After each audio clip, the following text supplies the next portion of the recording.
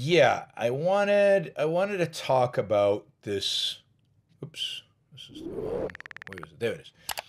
This excellent, I mean, truly excellent article by Bari Weiss. And again, I'm saying excellent not because I agree with all of it, not because even I agree with the emphasis of some of it.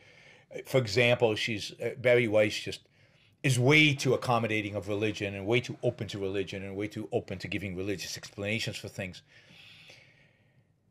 But she's also very pro-American in in a deep sense and raising the kind of questions that need to be raised and raising the kind of issues that need to be raised. Uh, she, she starts the article off, and I'm going to read you large segments of the articles because I think it's good, and I think she states it as good as anybody could state it. So, no point in me. Um, uh, but she she she she asked the question.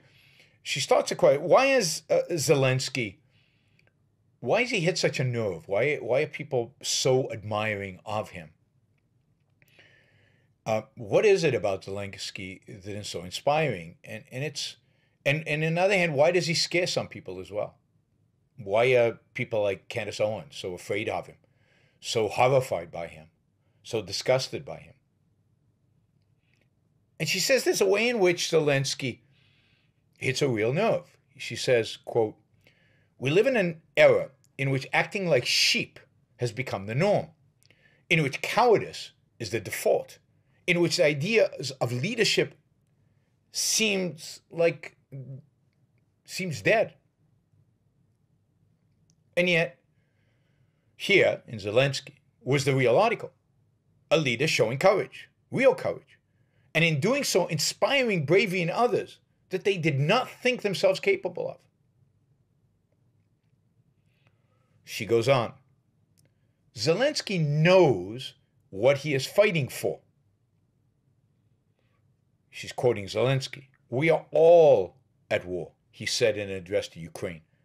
Everywhere people defend themselves, although they do not have weapons. But these are our people. They have courage, dignity, and hence the ability to go out and say, I'm here. It's mine. Talk about private property. I won't give it away. My city, my community, my Ukraine.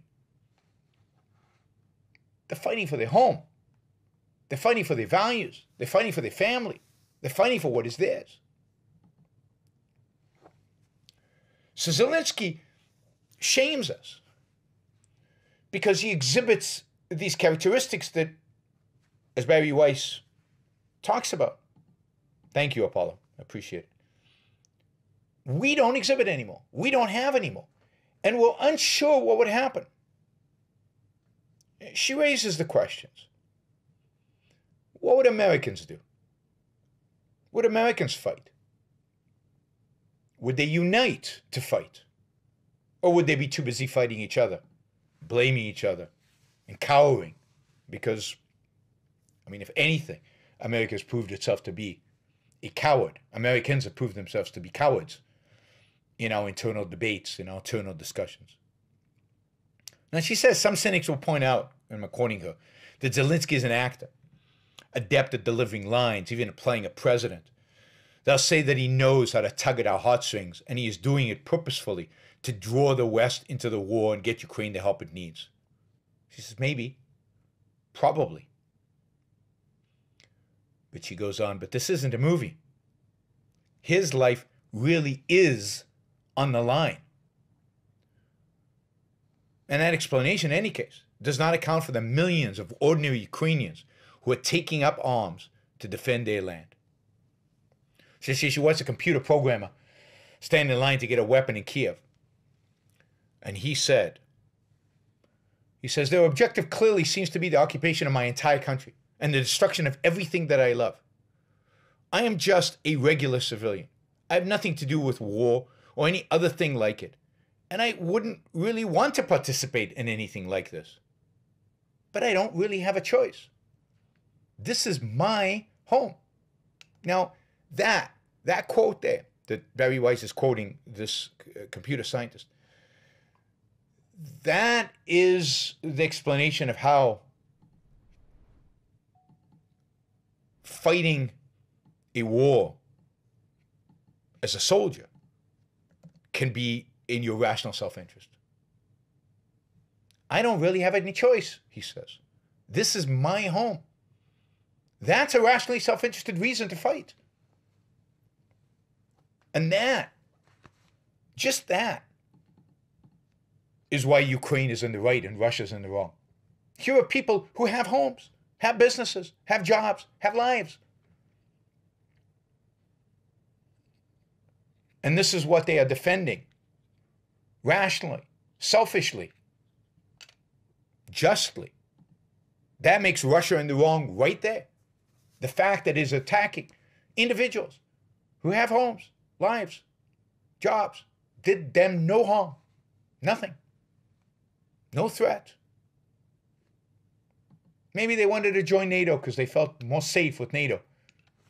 Seems like they were right to feel that they needed NATO. That does not do a wrong to Russia. So Bari says, why is witnessing such courage uncomfortable? By the way, subscribe to a Substack. It is because I cannot help but notice the gap between them and us, between the bigness of their vision and their mission and the smallness of ours. Now, here, you know, this is where she's pushing it a little bit, right? They're at war. We are not. Do we need to go to war to have big missions? No. She's treading on dangerous ground here in sense of we need a big collective mission to defend ourselves. But we'll see she redeems herself later. Watching Zelensky and his people, she says, reminds me of what we have lost, of how uncertain and fragile we have become. How would we act if the guns were on our heads, at our heads? Would we similarly feel no choice but to fight for our home, for everything we love? Would we have the courage to live by the values we profess if our backs were, on the, were to the wall? Or the sense of national unity? Or have we gotten so comfortable, so coddled, so removed from the world of flesh and blood that we have forgotten how to name those values at all? Do we know what our values? Do we know what results in, quote, national unity?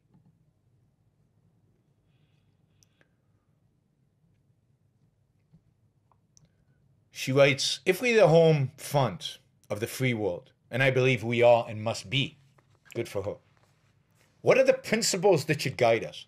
What are the things worth fighting for? I wanted to su- suggest three of them, she says.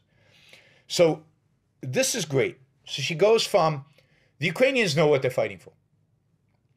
We don't have an invader on our land. But we are the home of the free world. We are the shining city on the hill, whether we like it or not. Maybe we're not so shining anymore. We're on the hill still. What should we fight for? What is worth fighting for? And this is shocking to many of you because Bari Weiss is not, and, and the article shows us, she's no objectivist, she's no uh, free marketer. She's uh, you know she's a, a, center, center right, center left. Hard to tell.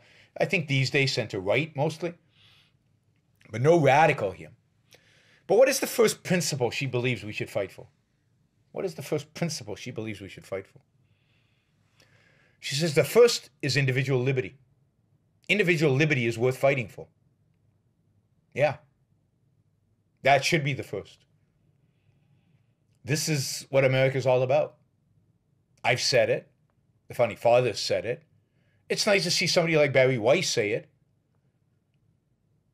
Individualism, the value of the individual, the sanctity of the individual, the individual's freedom, his liberty. Brian, thank you. She then points out how many Americans now punished Russians in America for being Russian, for being of Russian heritage. How many Americans have dealt with fellow Americans who happen to have come from Russia as if they belong to a tribe, as if they cannot be American if they were born in Russia? How much all of us, everywhere, voluntarily are penalizing Russia, Russians here, not over there, here. Not their government, individuals here.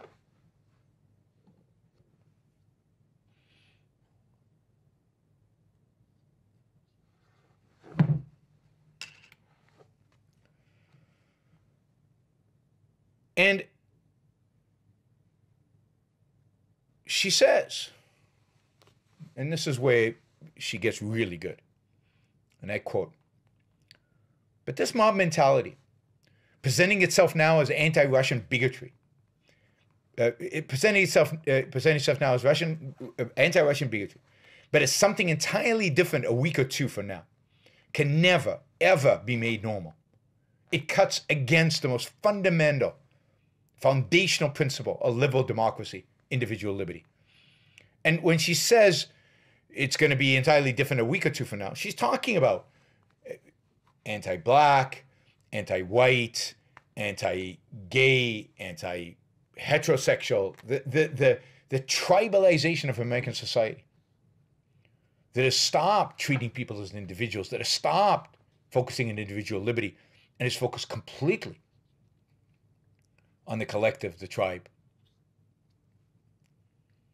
She continues to write, as my friend Jacob Siegel put it in the tablet, the notion, quote, the notion that individuals should have their employment conditioned on the actions of a foreign government or their willingness to denounce those actions is frankly gross and authoritarian. The kind of thing I was raised to believe happened in Russia, not the United States. That is the idea of treating people based on their birth or nationality or even their views about this issue. But making it a condition of a job, you have to support the American government against the Russians. I mean, there are calls on the left to, to prosecute Tucker Carlson and Candace Owen for treason. Now, I don't like Tucker Carlson and Candace Owen, and I disagree with them fundamentally about Russia and Ukraine. But to try them for treason? Where is the First Amendment? Where is the Constitution? Where is the principle of allowing people to speak, debating them, arguing with them, disagreeing with them, and walking away? No, now we have to put them in jail because you disagree with them? Because they support Putin? If they are Russian agents, what are they? Are they giving away secrets? Are they undermining the US government? The undermining freedom in America? No, it's undermining freedom in America. Are the people who want to prosecute people who disagree with them for treason? That's undermining America. That's treasonous. So while, as you know, I fundamentally disagree with Candace Owen, Tucker Carlson, and the rest of the new right on the issue of Russia, they have every right to hold that opinion. And their right should be protected. And people like me should be speaking up, even though we disagree with them, about their right to disagree. Their right to support Putin. They have a right to support Putin.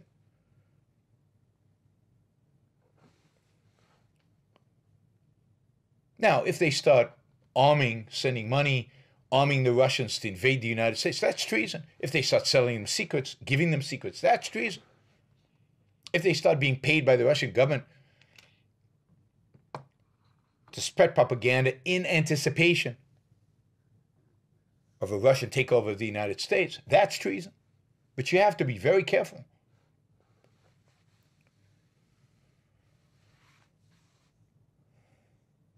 C.S. Bari Weiss again, and I think three paragraphs that are excellent. And uh, God, if we had this kind of thinking in the world today, if we had more of this kind of thinking, we would win hands down quite easily.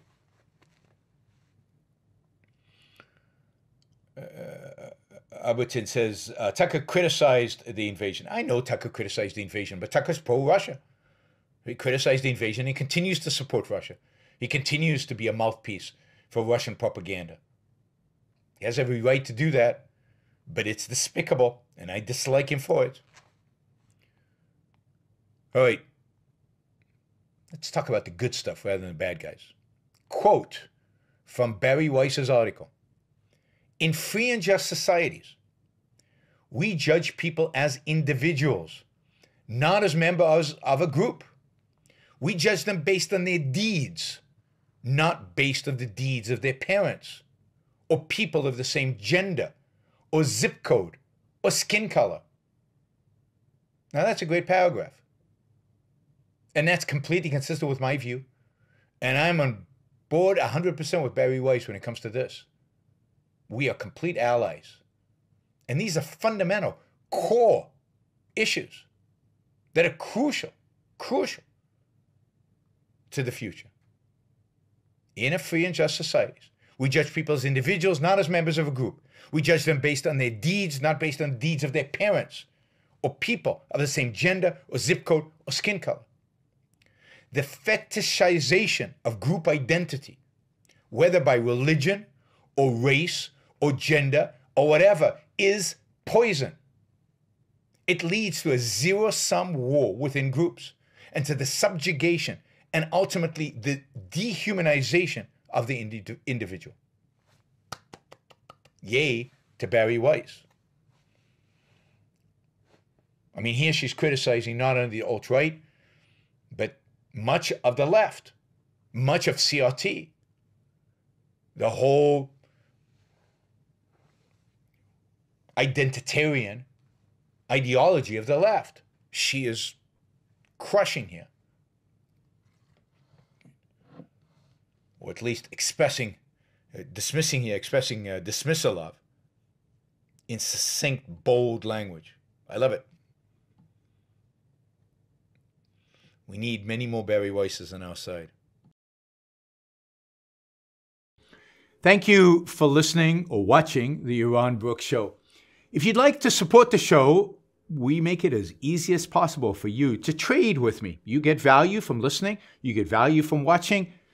Show your appreciation. You can do that by going to yaronbrookshow.com slash support, by going to Patreon, subscribe Subscribestar, Locals, and just making a appropriate contribution uh, on any one of those uh, any one of those channels. Also, if you'd like to see the Yaron Brook Show grow, please consider sharing our content and, of course, subscribe. Press that little bell button right down there on YouTube so that you get an announcement when we go live. And for those of you who are already subscribers and those of you who are already supporters of the show, thank you.